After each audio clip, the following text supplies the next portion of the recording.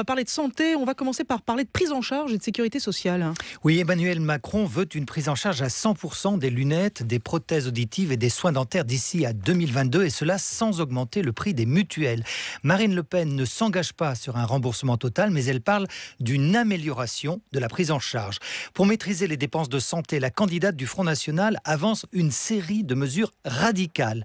La suppression de l'aide médicale d'État qui est réservée aux personnes en situation irrégulière, la lutte contre la fraude à la sécurité sociale en créant une carte vitale biométrique et enfin la lutte contre les arrêts maladie de complaisance.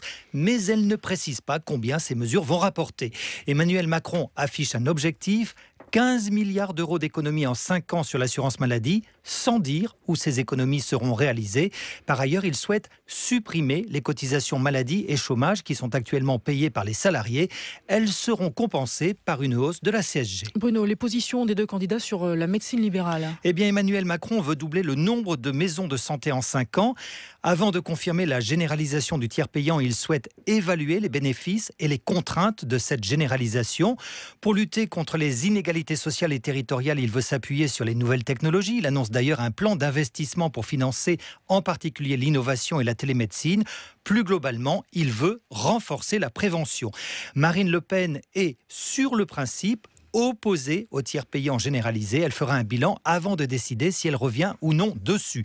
Elle veut développer les maisons de santé dans les zones sous-dotées, autoriser les médecins retraités à exercer dans ces zones.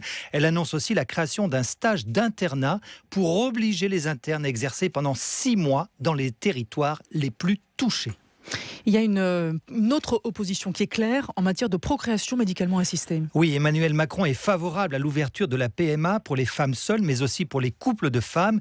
Mais il attendra l'avis du Comité consultatif national d'éthique sur cette question. Marine Le Pen souhaite réserver la PMA aux couples hétérosexuels qui rencontrent des problèmes de stérilité.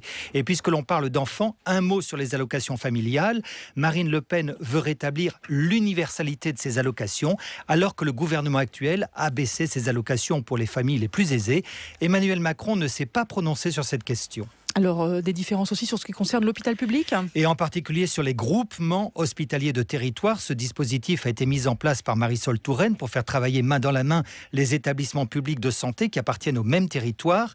Emmanuel Macron veut accélérer le déploiement de ces groupements. Marine Le Pen les rejette. Elle préfère maintenir les hôpitaux de proximité.